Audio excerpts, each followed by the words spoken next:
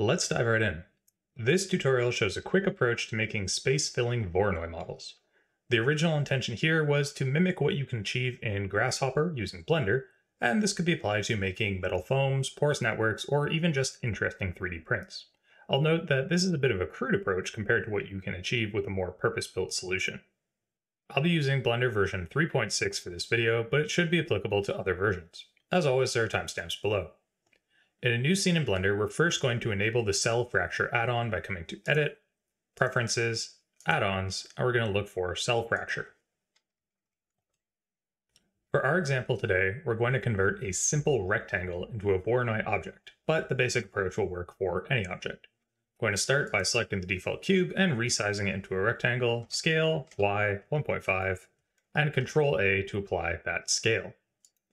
To get the cell fracture to work well, the object needs a minimum amount of geometry, so I'm going to tab into edit mode, right click and choose subdivide, and hit shift R mm, three times. From here, with your rectangle selected, use your search function, that's F3 for me, are we going to look for cell fracture. If you have the add-on enabled, it should be right there. I'm going to go ahead, hit enter, and I'm just going to use the default settings. I'm going to wait, let Blender do its thing. You can see it's created this inner network mesh. And I have all the fragments. While they're all still selected, I'm going to hit M and move them into a new collection that I will simply call fragments. From here, I'm going to hide the original mesh. So hide the cube right there in the viewport. I'm going to right click on the fragments collection, select everything. So select objects. I will shift and click one of the fragments Control J to join them all together, tab into edit mode, hit M, and merge by distance. You should see a number of the verts have been deleted, so we're nearly ready to export, but we're going to add a little bit of space between the individual segments. And to do that, we're going to change to individual origins using the period key. Then we're going to hit S to scale, and we're going to scale in just a tiny bit. I find that 0.95 works pretty well here. All we're looking for is this little space between the segments. Now, our object is a single object at the moment because we merged all of our fragments together. We're going to export this as an STL and take it over to voronator.com to get a .ply file. So we'll start by coming to File, Export, to go to STL, and then for the settings, I'm going to choose Select Only, and we'll export that file. We've moved over now to voronator.com, which I've linked in the description. Voronator accepts several file types, but I find it's best to stick to STL based on what Blender can export, because some of the other options, such as OBJ, the files will get very large very quickly. All we're going to do is choose to upload a file, and we're going to grab the one that we just created. I find the default settings work fairly well, but there are advanced options if you'd like to try and explore some of the things that they can do. Simply go ahead, press Start, and we're going to wait for it to give us a result. The larger your file, the longer this process will take, but I find it's typically done in under two minutes. Once Voronator has finished processing your file, it's going to give you two options. Download the first one, otherwise you're going to get something with a significantly lower mesh density. Navigate to wherever you'd like and simply save the .ply file. Back in Blender, we're going to hide our original mesh object. Then we're going to come to File, Import, and you can choose either Stanford PLY or just .ply. Navigate to your file, select it, and go ahead and import it. You might find that you're going to see a bit of a pause here, depending on the size of your mesh object as it loads in. But what you'll notice is if I load in the original object, you can see that this is not actually mapped over exactly where the cracks were. It's not even mapped into the area where the cracks were formed on our export mesh. This is just a rough approximation, and I find that Voronator needs that little bit of extra disordered geometry to get something that will give you a convincing-ish result. Let's note a few things here. The first is that you will need to play with the process bit if you have a specific result in mind.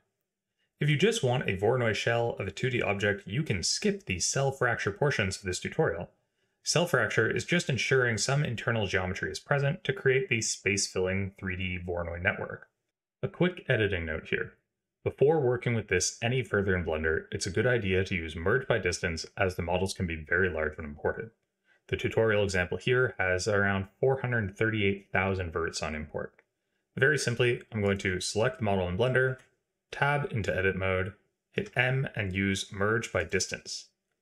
Now the default setting in Blender is something like 0.0001. In this case, you can see that I've increased it up to 0.0125, and that was just through a little bit of exploration. But it's going to cut the model down by nearly 320,000 verts, making this much more lightweight and easier to work with. From here, I'm going to do a remesh by coming to the modifier tab, adding in a remesh modifier, and I'm going to use the voxel remesh. For the size, you'll have to explore a little bit, but I'm going to use the same size as the merge by distance. So 0.0125, enter. This will take a little bit of time, but from there I can go ahead and apply this with Control A. I find this is also a decent foundation for sculpting, so if you want to, you could come to the sculpting tab, and then you could inflate or smooth parts of this to make it either a finer mesh network. I'm gonna hit F here just to drag this up, and then I'm just holding down left click and kind of painting to create something a little bit more fine in terms of the structure. And if I wanted to use something like the inflate brush, I could also bring that over and just use that to sort of paint in thicker or thinner areas. Take this back to the layout tab. One thing that I will note here is that I really do not recommend using subdivision surface on these as they can get very, very large very quickly. And if you really felt that you needed to to get something a little bit better, then you could apply a remesh modifier again here from here, coming into a rendered view, you can see we've got a reasonably intricate little Voronoi 3D mesh network that we've custom shaped. And if we wanted to, we could of course continue working with this in Blender to add things like lighting materials, which we'll cut back to now. So in this example, I've set up a simple background, given this a metal material, and added a basic HDRI just to have a rough sense of how this would look as a porous metal network. If I wanted to easily and quickly change the thickness, I could simply tab into edit mode, A to select everything, and then we'll do this in solid view, so it'll be a little bit faster, but Alt and S to just move in or out. So I'm going to hold down Shift and make these a little bit thicker. Now, if I wanted to take something like this and 3D print it, then I would probably want to use something that has soluble supports on the interior, as otherwise this would be a relatively difficult thing to clean up.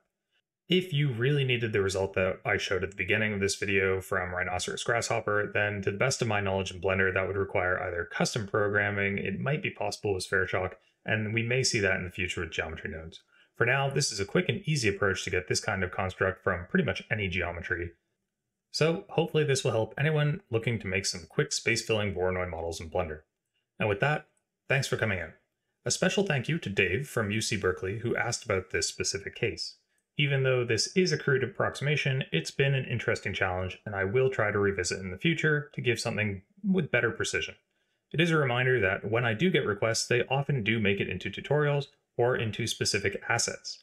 And I'd like to specifically thank my Patreon supporters who help make these videos possible, especially in the context of my next video, which will cover the asset library for scientists that I've been working on for the past few months. If you enjoyed this video or found it useful, consider subscribing, joining the Blender.science community on Discord, sharing this channel with your friends and colleagues, and until next time, you have yourselves a great old day.